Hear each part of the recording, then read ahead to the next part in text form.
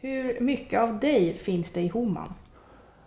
Ja, det kan man ju gissa sig till. Men varje författare bidrar väl på sitt sätt till sina rollfigurer. Vad heter den senaste boken om Homan?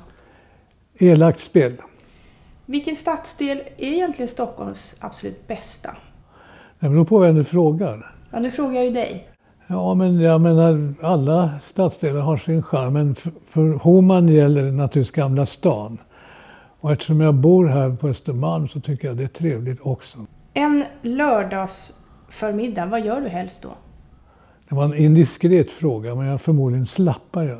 Om du måste välja på en meny mellan förrätt eller efterrätt, vad väljer du då? Det beror på vad som står på menyn. Om du ska träffa någon vän på stan, väljer du då frukost eller middag? Ja, det beror på när jag ska träffa vederbörande. Om det är på morgon eller kväll. Får välja mellan stad eller strand, vad väljer du då? Strand. Har du någon favoritstad? Många. Inte minst Rio de Janeiro, världens vackraste stad. Jag har bott där några år. Nästa fråga är, har du bott i några andra länder än Sverige? Och de är ju Jag har bott i många. Amerika, Brasilien, Frankrike, Schweiz. Var trivdes du bäst?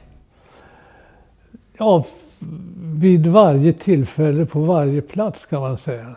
Man kan inte jämföra så. Hur många böcker har du skrivit? Jag tror det är 68. Hur många av dem handlar om Homan? 45 har jag läst.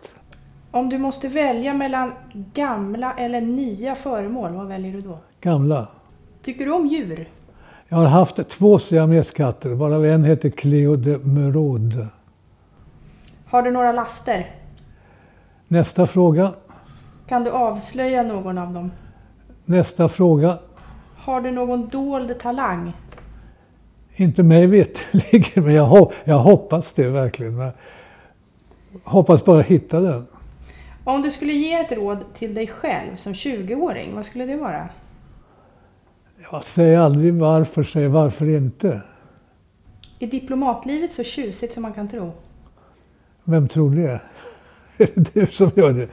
Det är hårt arbete och det är besvärliga levnadsförhållanden ibland långt borta från Sverige i otrevliga klimat och med sjukdomar och andra med barn som får gå i internatskolor och annat. Det är, det är inte någon egentlig dans på rosor utan det har väl idoliserats lite grann felaktigt. Men att det, det, det är trevligt dessutom, det kan man ju säga. Och en sista fråga. Vill du att vi ska gå nu? Ja tack, äntligen!